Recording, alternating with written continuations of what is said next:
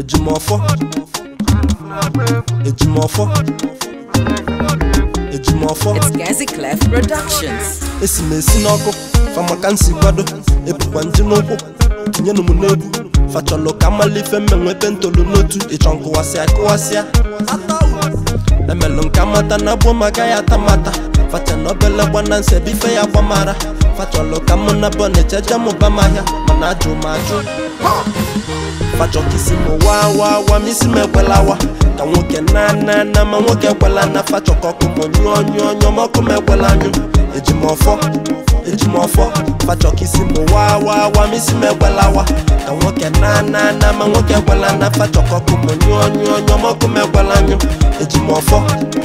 ma ọkụ m mmepe ọfụma kụọlụ nwa bebi kụọlụ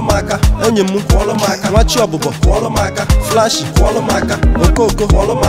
eze ụmụ tụọlụmasa m asa tọrọkwa m ndị ya gbajikwa m aka ọ dị ka famụta gị nwaanya fatịra ka mụ na onye nwaanyị o wefana na na-emefe ka anyị ogelugo mgbe anyị wepụtala fe anya onye na-ewe wan wan leg akpọ nọ na wan ten nwa bụrụ fin fine girl egolu ya ho se wa misi m ekwelawa ka nwoke na na na ma nwoke ekwela na fa chọkọ ọkụ mụ nyụọ nyụọ nyụọ ma m ekwela anyụ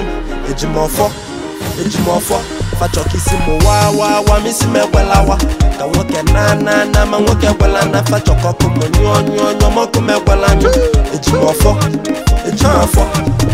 akarịgo m ịmụ ife unu ga-ekwu ọnwụ ihe ọ na-ekwu mgbe anyị tụrụ ka o ji esi makwa na agụ abalị mba wee kwu amara m ife na-ekpofe ọ dị ka ma pefumu na-ekpofa ọsụkọsụ na asụfa nke anyị ka na-egbu ọchịcha anyị gbuziela efife atụọla ite ndọzi n'ọlọkpa bina-eji ka nwa adaka nwa na ya zọ na-amacha fachuga mbọtawa awa fachakwa nna ga ada obechukwu nkata ata enidiro nwahala n'ọkụ famaka nsi kwado ebukwa nye na m